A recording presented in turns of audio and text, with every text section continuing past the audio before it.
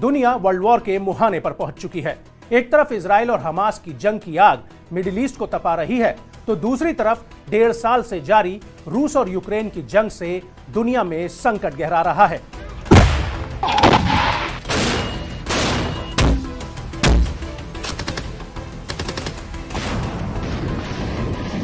लेकिन सबसे गंभीर संकट दुनिया के सामने तब खड़ा होगा जब इसराइल हमास की जंग सीरिया लेबनान के रास्ते ईरान में एंट्री करेगी।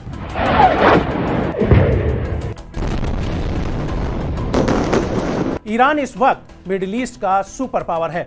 ऐसे में ईरान की जंग में एंट्री से मिडिल ईस्ट के सारे समीकरण ही बदल जाएँगे।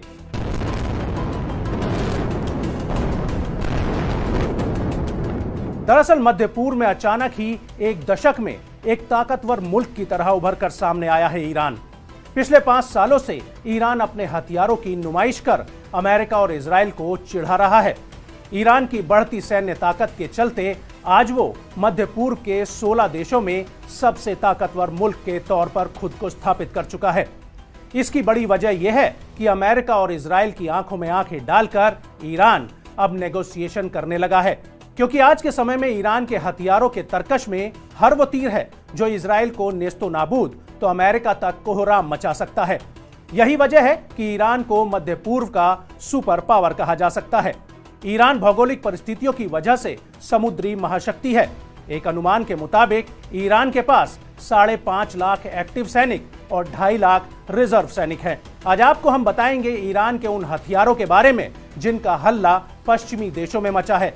तो जिनके चलने से इसराइल में कोहराम मच सकता है। आखिर ईरानी सेना की चार डिवीजनों में ऐसी क्या खास बात है कि वो हर मोर्चे पर जंग के लिए तैयार खड़ी दिखाई दे रही है?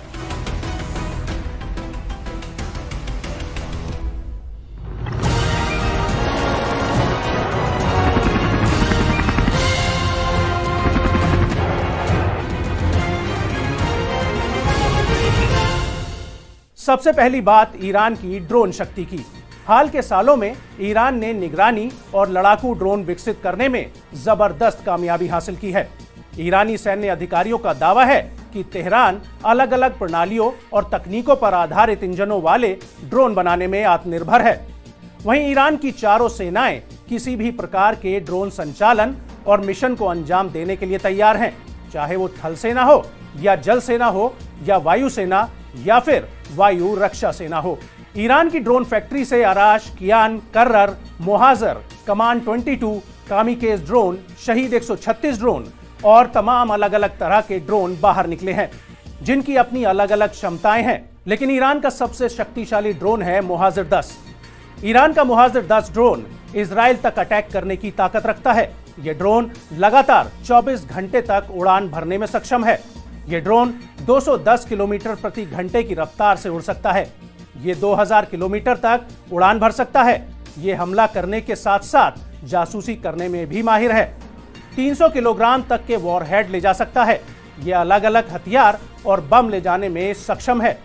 मुहाजर 10 ड्रोन अमेरिका के Q9 रीपर की तरह दिखाई देता है। इस ड्रोन की खासियत है कि इसके अनावरण में खुद ईरान के राष्ट्रपति इब्राहिम राइसी मौजूद रहे थे। इसके अलावा ईरान का कमान 22 ड्रोन 3000 किलोमीटर तक मार कर सकता है। ये ड्रोन अपने साथ 300 किलोग्राम विस्फोटक ले जा सकता है। ज़मीन और समुद्र दोनों से ही इस ड्रोन को लॉन्च किया जा सकता है। ईरान का सबसे अहम मुहाजिर ड्रोन एक गाइडेड बम है, जो कि अत्याधुनिक निगरानी उपकरण ले जाने में सक्षम है। अब अगर ईरान की मिसाइल पावर को देखें तो एक एक मिसाइलें ईरानी सेना की ताकत में जोश भर रही हैं।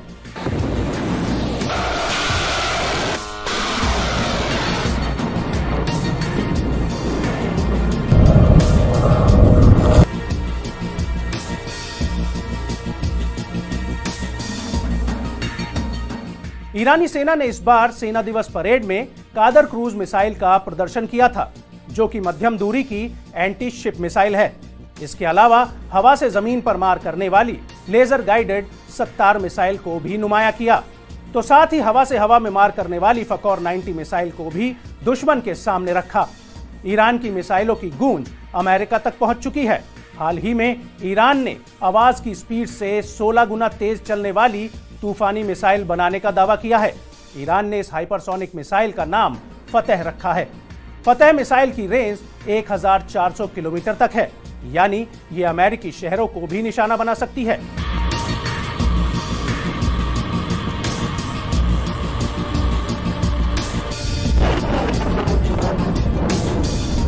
इस मिसाइल को लेकर ईरान का दावा है कि ये किसी भी डिफेंस सिस्टम को भेद कर निकलने में सक्षम है। ईरान के इस दावे के साथ ही उसके पास बैलिस्टिक मिसाइलों का जखीरा तैयार होता जा रहा है। इससे पहले ईरान ने लिक्विड फ्यूल पर चलने वाली मिसाइल का सक्सेसफुल टेस्ट किया था। इस मिसाइल की तकनीक ईरान ने उत्तर कोरिया से ली थी। इस बैलिस्टिक मिसाइल को ईरान ने खुर्रम शहर टू नाम दिया है। ईरान की यह मिसाइल 2000 किलोमीटर तक मार करने में सक्षम है। साथ ही 1500 किलोग्राम का वॉरहेड ले जाने में सक्षम है। इस मिसाइल का चौथा वर्जन ईरान ने लॉन्च किया है। इससे पहले पिछले साल ईरान ने खैबर नाम की बैलिस्टिक मिसाइल का परीक्षण कर हड़कंप मचा दिया था।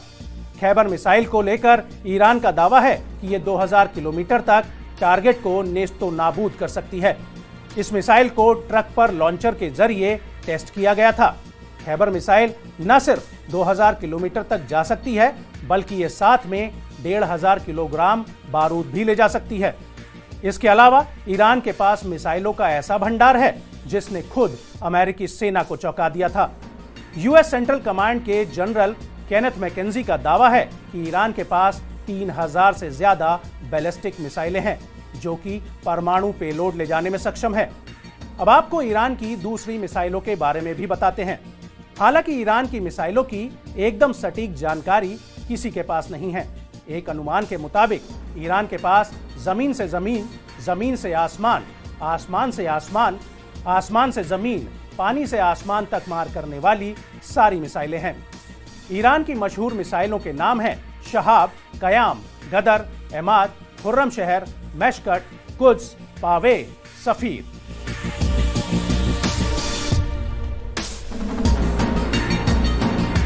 ईरान की मिसाइलें लिक्विड और सॉलिड फ्यूल से चलने में सक्षम हैं। इनकी मार हज़ार किलोमीटर से ज़्यादा है। ईरान के पास शॉर्ट रेंज बैलिस्टिक मिसाइल और मीडियम रेंज बैलिस्टिक मिसाइलों का जखीरा है। इन सब के अलावा ईरानी सेना के पास स्वदेशी निर्मित एयर डिफेंस सिस्टम है। इस सिस्टम में विमानों और ड्रोन के साथ साथ क्रूज और बैलिस्टिक मिसाइलों को मार गिराने वाले Damavand strategic and long range system, Nashik 40 navigational assistant navigation system, Majid short range air defence system शामिल हैं।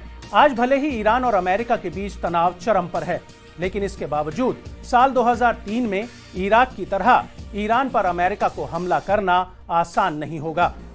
इराक की तुलना में आज ईरान बेहद ही शक्तिशाली देश बन चुका है। ईरान अपनी जंग लड़ने की स्टाइल से अमेरिका को ज़बरदस्त टक्कर देने की हैसियत रखने लगा है। ऐसे में अगर इसराइल हमास की जंग ईरान के मुहाने पर पहुँचती है तो दुनिया बहुत गंभीर नतीजे भुगत सकती है। ईरान के पास सेना के अलावा रेवोल्यूशनरी गार्ड कॉप्स और कुछ आर्मी भी है। कुछ आर्मी सीरिया, लेबनान और इराक में प्रॉक्सी सेना खड़ी करने में मदद करती है। वहीं रेवोल्यूशनरी गार्ड कॉप्स को सेना से भी ज़्यादा ताकतवर माना जाता है। रेवोल्यूशनरी गार्ड की सेना स्पीड बोट से फारस की खाड़ी और हुरमुज स्ट्रेट में अमेरिकी जंगी जहाजों पर सुसाइड अटैक कर भारी नुकसान पहुँचा सकती है। अगर किसी वजह से अमेरिका ईरान पर हमला करता है तो फिर ये जंग सिर्फ़ दो मुल्कों तक सीमित नहीं रहेगी। अमेरिका के साथ जहाँ सऊदी अरब और इसराइल का युद्ध में कूदना मजबूरी होगी तो वहीं लेबनान, सीरिया, यमन जैसे देश ईरान के लिए जंग में उतर जाएँगे।